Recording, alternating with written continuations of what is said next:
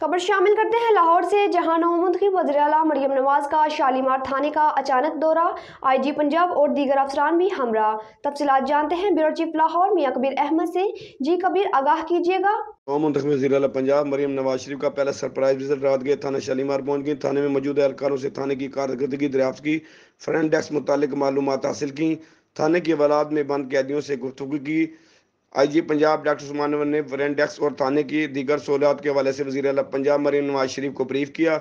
इस मौके पर कान असम्बली मरीम औरंगज़ेब, उजमा बुखारी, सानी आशिक, सेक्रेटरी दाखिला, चीफ सेक्रेटरी और कमिश्नर लाहौर भी हमरा थे। बहुत शुक्रिया मियाँ कबीर, आप हमें तफसीला से आगाह कर रहे थे।